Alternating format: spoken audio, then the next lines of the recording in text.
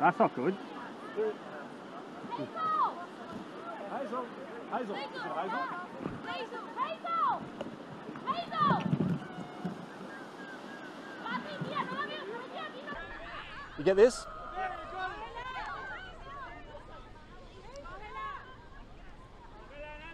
Okay.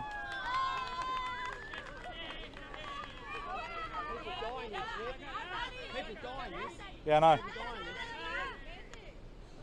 Well, what we've got here is yet another event, an extreme weather event coming on, uh, on the back of climate change that uh, our community is dealing with. It's about the fourth or fifth major event in the last couple of years. Um, right now around Byron we've got some severe weather, uh, massive swells, uh, we're watching our beach disappear.